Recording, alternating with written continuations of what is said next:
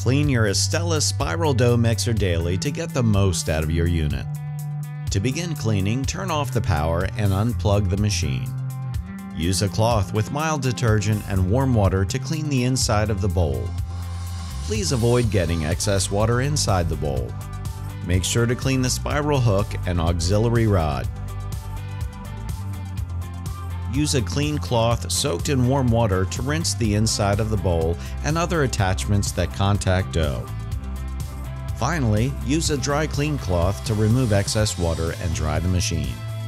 Please clean your machine at the end of every workday and when switching between batches of product.